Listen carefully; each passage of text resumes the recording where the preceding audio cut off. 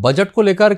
BJP प्रदेश अध्यक्ष B D Sharma ने प्रतिक्रिया दी है और उन्होंने कहा, ये विकसित भारत दो हज़ार सैंतालीस के विजन को पूरा करने वाला बजट है। बजट में वो आधार है जिससे विकसित भारत दो का संकल्प पूरा होगा। माननीय प्रधानमंत्री नरेंद्र मोदी जी के नेतृत्व में हमारी वित्त मंत्री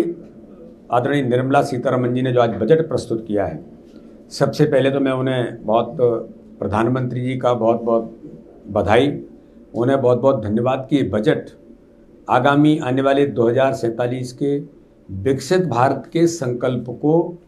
पूरा करने वाला, उस संकल्प के लिए खाका तैयार करने वाला बजट है।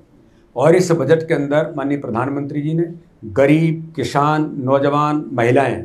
जो माननीय प्रधानमंत्री जी बार बार कहते हैं कि मेरी देश की ये चार जा पाँच जातियाँ हैं, उन चार जातियों को सशक्त कैसे बनाया जाए? माननीय प्रधानमंत्री मोदी जी ने इस बजट के अंदर प्रावधान किया है। इसलिए अगर मैं कहूँ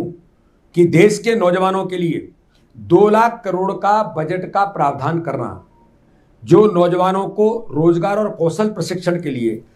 चार करोड़ दस लाख नए रोज़गार के सृजन जो नौजवानों को मिलेंगे पाँच वर्षों के अंदर, ये विजन माननीय प्रधानमंत्री जी का है।